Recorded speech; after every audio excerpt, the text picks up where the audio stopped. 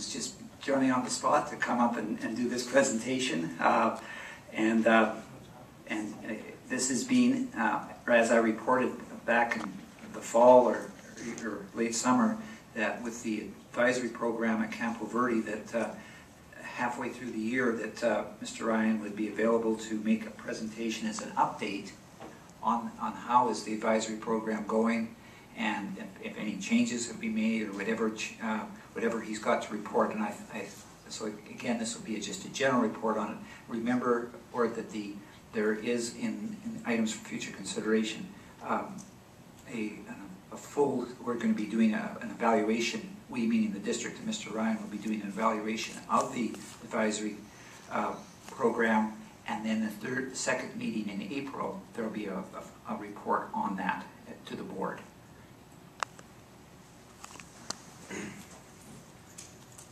Thank you, Dr. Allison, uh, Madam President, Governing Board members, Superintendency. Uh, Ms. Brockway has joined me here this evening. Um, Amy has taken on has taken on the role of coordinating uh, advisory program for us from the teacher's perspective, uh, being classrooms, and so I'm also going to have her help us out this evening.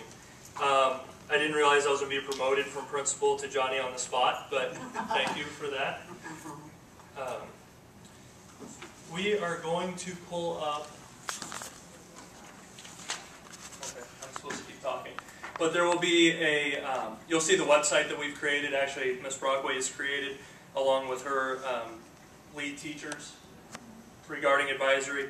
Uh, until we get that up and running, what I'm going to talk about a little bit are the reasons why we started the program, the history of the program, where we are today, and where we plan to go in the future. Um, with, you know, thanks to your support, last year we were given the ability to, to begin this program. It's a 25-minute period. Um, the minutes were taken from what we consider to be an excessively long lunch period, where we wanted students to have the ability to work um, not only on their academic progress through peer tutoring and, and um, through tutoring opportunities with their teachers, but also um, to be able to work on, on growth type activities that for, for years we've always talked about the fact that we don't have enough time within our regular framework of a classroom to talk about things such as uh, study skills, self-advocacy, um, just to name a few. So when we began talking about the program, we first looked at the academic skills that we felt like students needed to build. We looked at long-term planning, goal setting, uh, study skills, organization, time management, academic responsibility. Then we started talking about the personal side of it for the students. So not just academics and not just grades and not just study habits, but also the personal side of it. Talking about financial management, self-advocacy, public, public speaking skills, social emotional wellness, and personal responsibility. And then lastly, we talked about the school needs. Um, within the framework of running a high school, we have numerous programs that take time away from our core academic areas. So whether it be counseling presentations during registration season in our English classes, or whether it be a world of difference presentations through our biology classes, we're trying to look uh, to find a way to not interrupt the academic classes themselves, but instead have it during a this specific time of day. So right now that time of day is um, begins directly after first hour, 8.30 in the morning until 8.55. Uh, the creation of the program, um, it, it, evolved over the course of time. It evolved from conversations with uh, the governing board, superintendency, um, the parent advisory council on campus, the site council that I meet with on a monthly basis, um, the department chairs, um, teachers walking down the hallway, students walking down the hallway. Um, we've now created the Student Principal Council on campus uh, where we're going to be meeting frequently to discuss what are your experiences in the classroom as students. And so that's, that's where we really gather a lot of input. To be honest with you, a lot of the changes within advisory from day one of our planning and organization um, to where we finally developed for implementation came from our parent site council. Um, they're the ones that talked about aligning grade levels. Rather than having freshmen through seniors all in the same classroom, by having the grade levels to be able to create the activities specific to those uh, grade levels. And I think Ms. Brockway, when she shows you just here in, in a few minutes the presentation or the uh, website that she's created, how advantageous that is. Uh, level leads were, were determined based on their interest. So teachers on campus were allowed to express their interest in being a level leader in order to create the activities for freshman, sophomore, junior, and senior classes. We wanted these activities to be specific to what their individual needs were. Obviously, for a senior to come in and um, have, an, have an informational session on how to use the library didn't make sense compared to a freshman coming in, how to use the resources on campus, where to find specific things, um, align them with their counselor, align them with their administrator and their advisor, seemed to really make sense for the ease of the transition. Um, all educators were given an opportunity to select the level that they would like to lead. So on our campus, every teacher was given the opportunity to say, you know what, this year I've been teaching freshmen, so I'd really like to start with or sophomore advisory next year. I'm familiar with many of those students. We would already have that report created, and I'd like to begin with that class. So the teachers or advisors on campus were allowed to select that. The students were then all brought into the auditorium, one class, one grade level at a time, and given the opportunity to select um, their top five choices for advisors they would like to have the following year. That's how we determined that the Campo Verde High School campus itself easing into the easing into the program to give the students a little bit more buy-in into who they were going to be with, where they have already created that that relationship. So the students came in. Now, I'd be lying to you if I told you 100% of the students got one of their top five. But um, up to this point in time, we've actually, um, as of today, when I was you know, informally talking with people, I could only come up with about 10 students that we've had to transfer in any way or move to a different area for various reasons, whether it be they didn't have students in their room with common classes, so peer tutoring wasn't helpful for them, or various other reasons. Um, so 10 out of 1,820, or whatever we have right now, is a pretty good ratio. So we've been very pleased with the way that worked out. Um, as we came into the school year, um, leads were working along with the advisors to create the first quarter activities. The reason we had decided, and, and really Miss Brockway, um, and I decided the first quarter to focus on that was so important because at the end of the quarter we needed to reevaluate how the activities were going and if we needed to modify or adjust. And we did. We did need to adjust. And so it was great that we didn't go through and create the entire year and then have to go back at the end of the year and change versus being able to change quarter by quarter. We've now changed some things going into third and fourth quarter that are different than what second quarter looked like. Just to give you an idea of, of the things I'm referring to, the first two quarters were very, um, very much worksheet oriented, I guess for lack of better terms. It was, you have a handout, you talk about financial goals, and you write it on a piece of paper. Where third and fourth quarter is a little bit more conversation, learning from each other, sharing stories, um, conversing with one another on situations you may find yourself in, uh, as an example. Students seem to take to that quite a bit more. The dialogue is better. What they walk away from, with is, um, is significantly stronger, and their understanding seems to be stronger as well. So that's just one example of the adaptations that we've made going into the second semester. Uh, advisors and students have voiced their desire to have more peer tutoring and individual meeting days. The individual meetings which, which are conducted on these peer tutoring days um, essentially require the teacher and a student one at a time to sit down and look at things such as um, grades, attendance, um, talking about attitude, talking about um, how are they faring, and are they worried about anything? Do they have any major tests, assignments coming up where they have worries or concerns? So what can come from that is not only a motivational tool. Uh, a teacher that I met with earlier this week talked about how he has a student coming in before school once a week to check in with him, and, and he goes through that individual's progress based on these one-on-one meetings, and that's what's come out of it. Um, the current status, obviously, uh, the website Ms. Brockway is going to show um, approximately 25 students within an advisory class, uh, the three tutoring and individual days, and then the two days of actual activities. Um, surveys are currently being created along with um, the uh, support of the superintendency to go out to parents, students, and staff members, surveys to get feedback on exactly what they're feeling, what's going well, what do we need to adjust, what do we need to modify. As in the first year of any program, we have a lot of work to do. Uh, we've put in a lot of time, we've put in a lot of effort, uh, but there's still a long way to go, and we realize that. And so some things which have been incredibly successful, um, others we need to modify and make adjustments accordingly. Um, the things that we're going to come back to you with, as Dr. Allison alluded to later in this semester, will be things such as student discipline referral data, data on attendance rates, campus GPA, Uh, one of the items that I'm most excited about is the number of minutes that students are actually gaining in their core academic classes because of this program. Uh, the number of minutes we're able to allow them to stay in their English, science, math classes where we're not pulling them for various activities. PEP assemblies is another example of being pulled from a class or adjusting a schedule where uh, in our current situation we don't necessarily have to do that. Uh, as well as the DFI list on a quarterly basis. Um, some difficult things to document, but we will definitely discuss as the year wraps up. The number of students who connected with an adult that they can trust, number of incidents or dangerous situations reported to an advisor, which have otherwise gone unnoticed, number of friends students made through the new group of peers, uh, amount of knowledge students gain from each other, number of skills students leave the program versus what they would have gained otherwise. Those are hard things to document.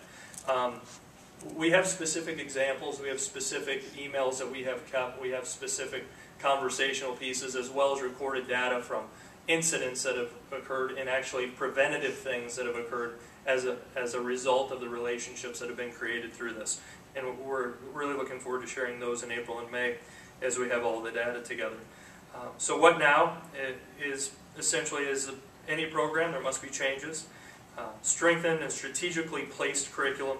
And everything we need to do from here on out needs to be based on the data that we pull. Um, up until now, it's been creating, created based on what we believe or what we think or what our ideas are. Now we can actually pull the data from what we've done and start making some strategic decisions. And we're excited to get to that point.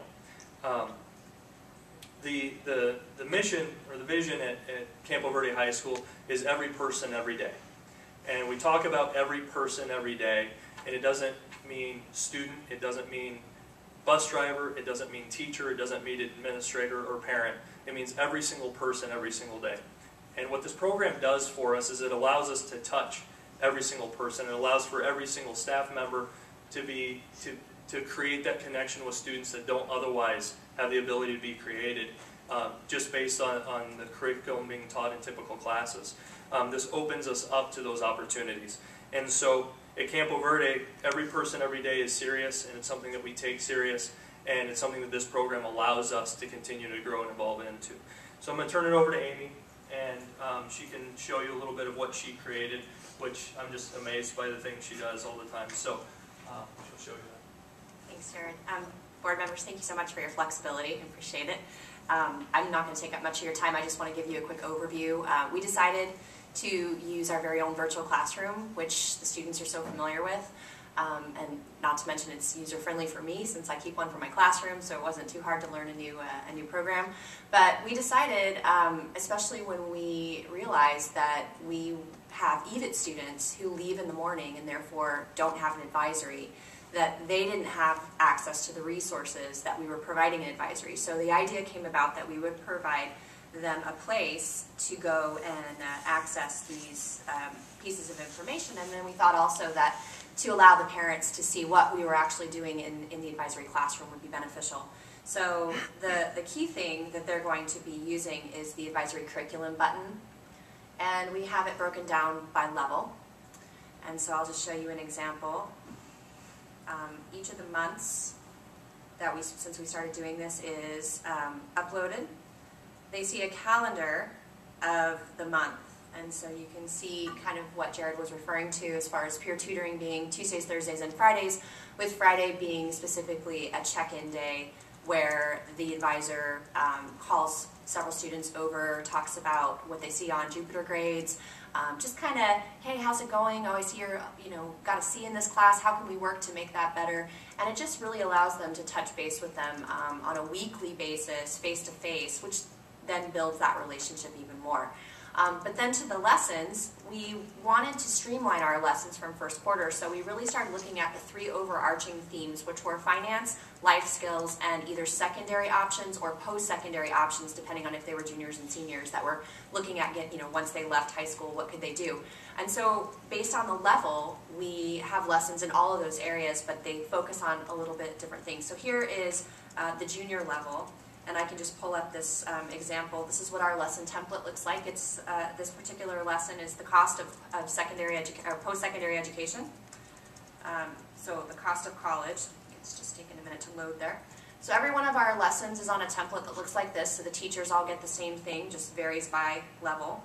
And it just kind of gives the teachers instructions. And so that way, if a student missed a day or a parent wants to see what their child did in advisory that day, they can pull this up. Um, we also have attached the resources, and everything is uploaded in a PDF format so that parents don't have to worry about what programs they have at home.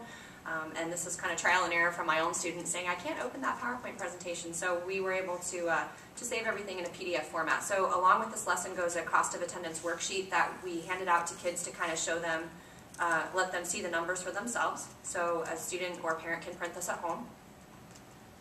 And then um, some of our lessons involve PowerPoints as well that help uh, convey the information. So for example, here's the PowerPoint that goes with that.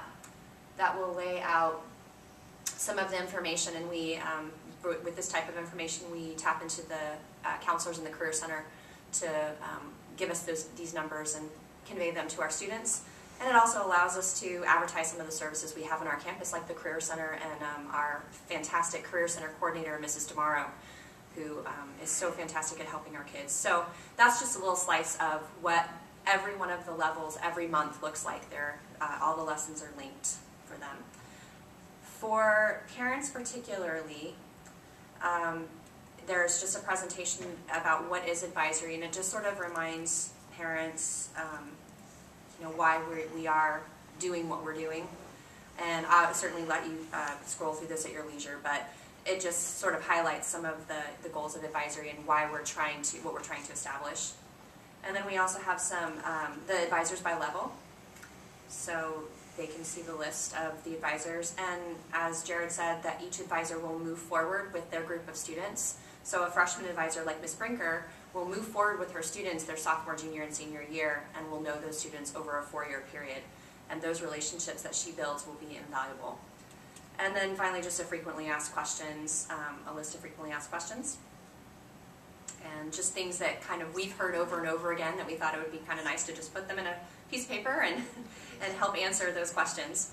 Um, one kind of cool feature, and this is how we're introducing this website to our students, is this far left-hand side. Our counseling department has developed a student needs assessment, and students are able to take this survey, and what it does is it filters all of the data into counseling, and so if you can look at some of their, you know, here are some of the items, um, yes or no, are you interested in more information? And then by the way, career interests, are you interested in any of these?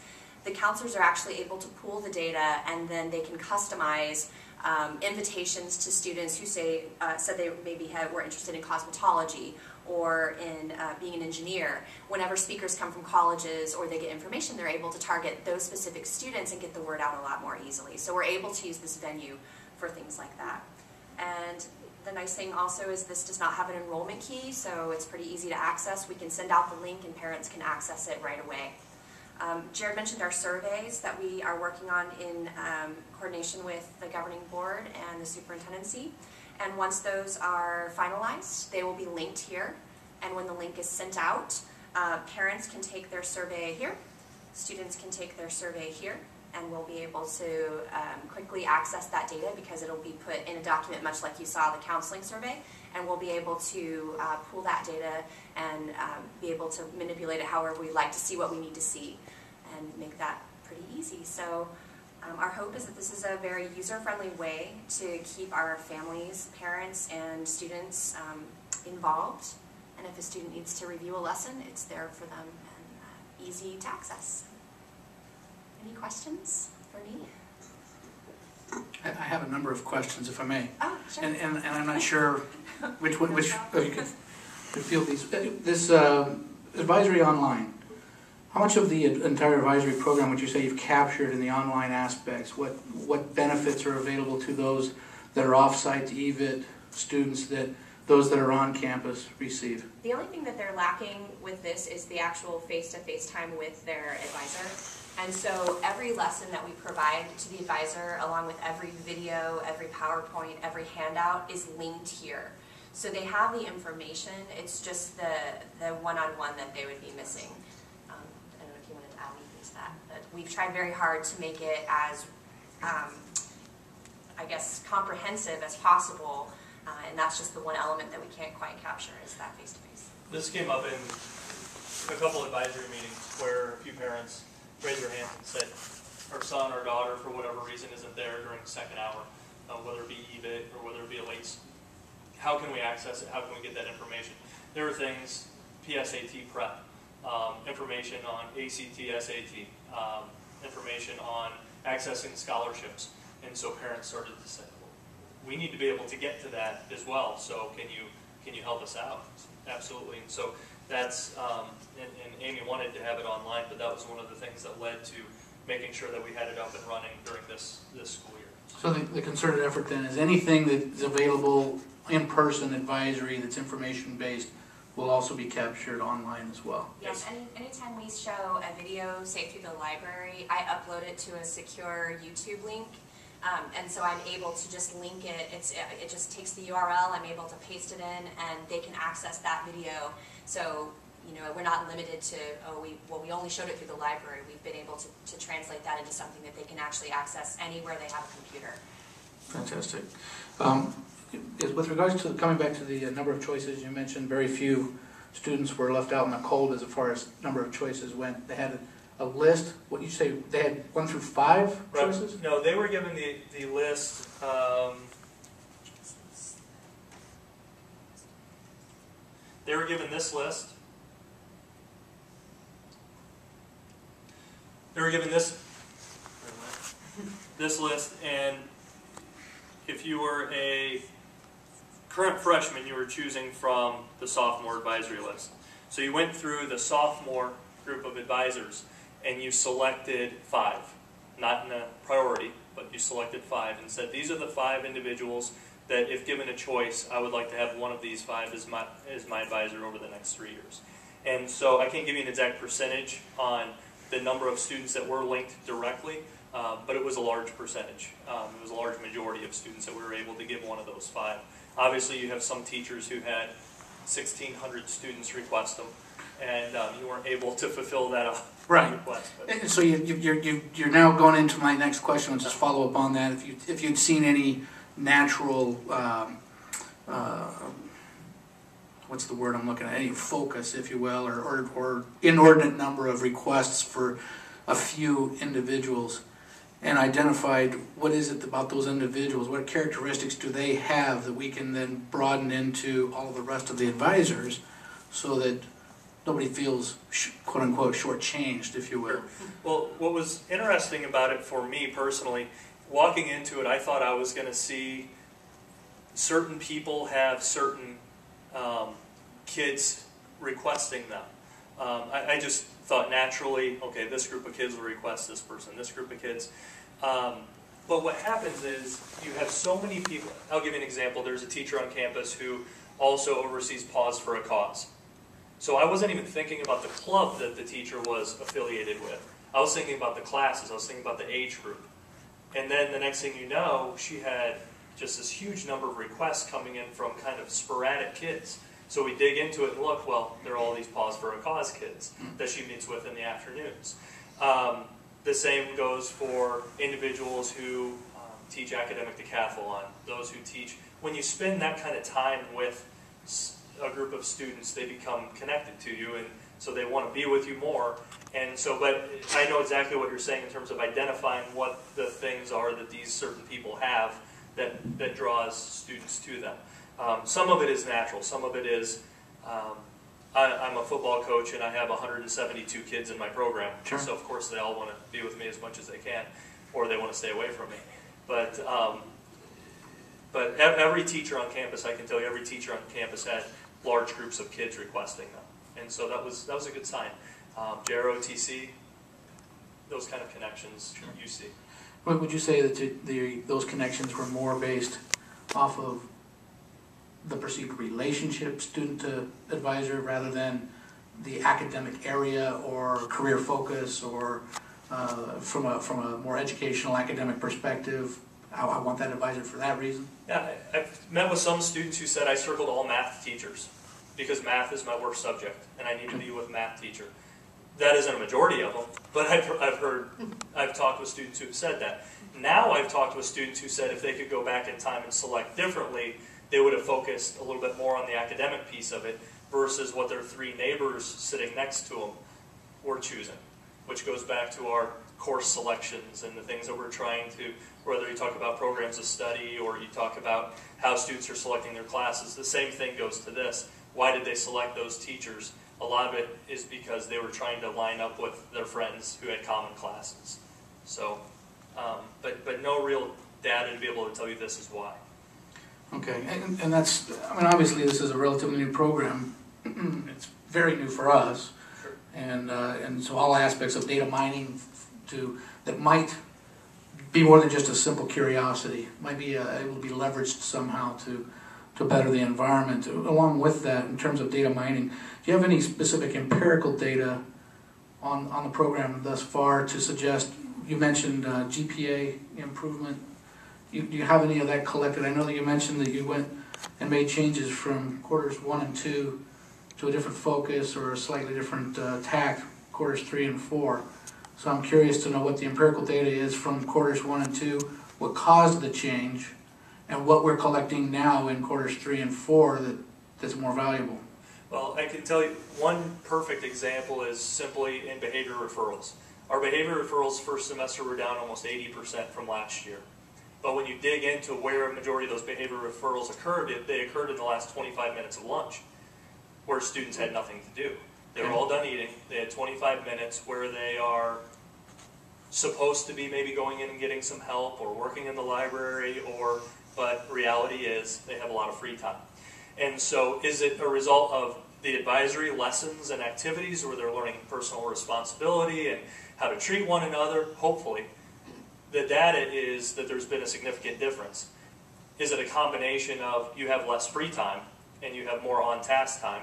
Um, and you have also these lessons backing up how you should conduct yourself during those times, all of that working together. So our, our hope is that it's both ways, that it, that's coming from both sides, and that's why we're seeing that result. Um, the, the GPA piece, um, I can tell you the percentage of students with over um, with over a GPA of, when we broke it down into categories of 3.8 and above, 3.5 and above, 3.2 and 3.0, in each of those categories there are a percentage of students, the percentage is higher of students above that mark this year than last year. I can't prove to you that it's because of advisory.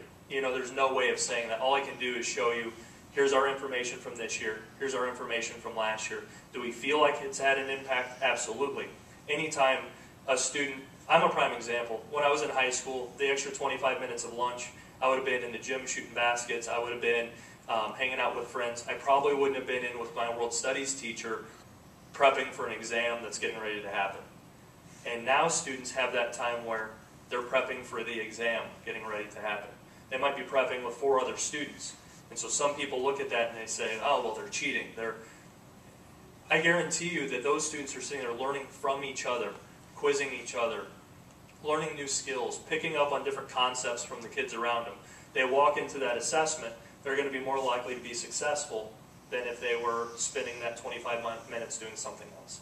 So, um, can you say that's why? Absolutely not. Um, can you make an educated, philosophical, theoretical guess? Yes, absolutely. Thank you. I'm glad to see some of these positive improvements. I,